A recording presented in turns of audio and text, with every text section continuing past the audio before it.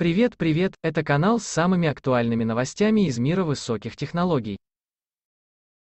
Выпущенное в конце марта обновление KB 5842 для Windows 10 принесло целый ряд проблем, сообщают пользователи.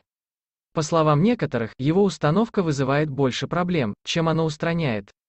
В их числе – нарушение работы многоканальных аудиосистем. Источник изображений, Niaoin по данным Microsoft, указанное обновление решало ряд вопросов, от недочетов в работе с HDR-дисплеями до проблем с воспроизведением видео, получением административных прав детскими аккаунтами и тому подобное. Позже появились сведения о том, что KB 5 миллионов 842 совместно с KB 5 миллионов 1330 негативно влияют на производительность компьютеров в играх. Последние же сообщения свидетельствуют о том, что с этими обновлениями при воспроизведении многоканального аудио 5,1 с определенными настройками появляются посторонние высокочастотные звуки. О проблеме, как ни странно, сообщает сама Microsoft.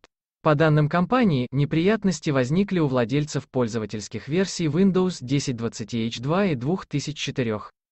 Посторонние звуки отсутствуют при воспроизведении аудио в стереорежиме. Разработчики ОС выпустили два варианта временного решения проблемы. В Microsoft сообщают, что уже работают над решением вопроса, но конкретное время устранения проблемы будет названо позже или, возможно, сразу после ликвидации недочета. Если видео было вам интересным, пожалуйста поставьте лайк и подпишитесь на наш канал.